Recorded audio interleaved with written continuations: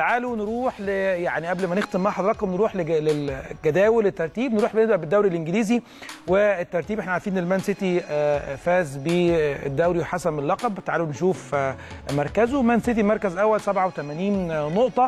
يليه مان مان يونايتد ب 74 نقطة في المركز الثاني. أما ليفربول في المركز الثالث 70 نقطة. توتنهام هوتسبيرز في المركز الرابع. ب 68 نقطة وتشيلسي في المركز الخامس ب 63 نقطة. تعالوا نروح للدوري الأسباني وبرشلونة. و...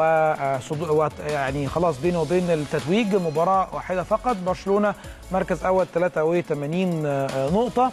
أما أتلتيكو مدريد في المركز الثاني ب 71 نقطة. وريال مدريد في المركز الثالث ب 68 نقطة وفالنسيا في المركز الرابع ب 65 نقطة وأخيرا ريال بيتيس مركز خامس 55 نقطة. نروح للدوري الألماني.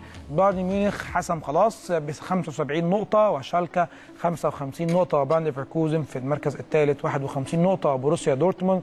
أنا شايف إن هي طبعا مفاجأة بالنسبة لي إن هو ما يكونش موجود في المركز الثاني ب 51 نقطة و لايبزيج طبعا في آه، مركز الخامس ب 47 نقطة. نروح للدوري.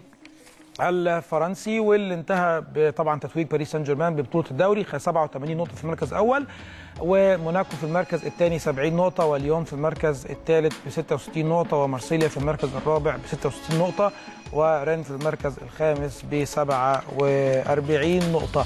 الدوري الإيطالي وأخيرا يوفنتوس مركز أول 85 نقطة أربع نقاط تفصلهم ما بينه وما بين نادي نابولي مركز ثاني 81 نقطة ولاتسيو في المركز الثالث ب 64 نقطة وروما مركز رابع 64 نقطة وإنتر ميلان في المركز الخامس 63 نقطة.